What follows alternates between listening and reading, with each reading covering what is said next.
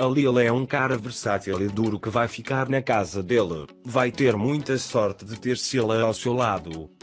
Sila e a Lil têm um amor tão lindo, natural e natural porque são atores muito bons. Mas não importa o quão bons eles sejam, além do set eu acho que também é um amor verdadeiro. Eles são o casal mais lindo que vemos agora. Mas sejam como Yama e Ser para sempre, fortes, brigantos, sérios, modestos, sinceros e não nos decepcionem.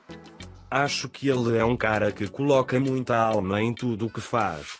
A mesma coisa aconteceu com o amor.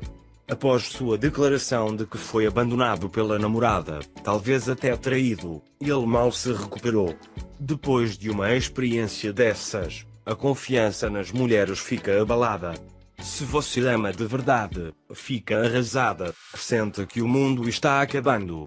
Agora, se ele tivesse um relacionamento com Silas, seria o homem mais sortudo.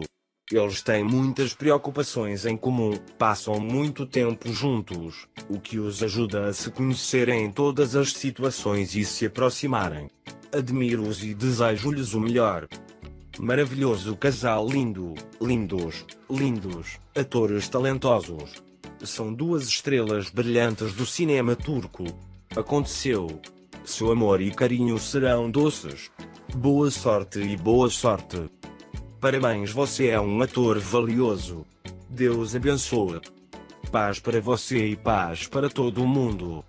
Eles nos cativaram com seu talento, carisma, beleza externa e interna, mas não podemos esquecer sua compatibilidade, que nos encantou.